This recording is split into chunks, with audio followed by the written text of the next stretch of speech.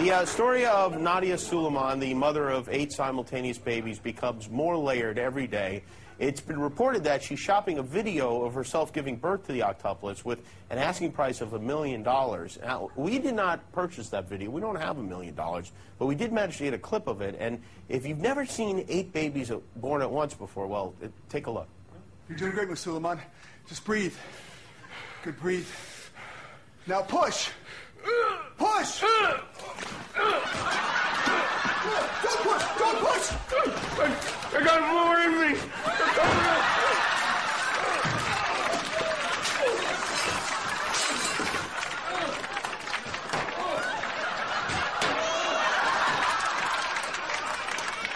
Oh, so happy!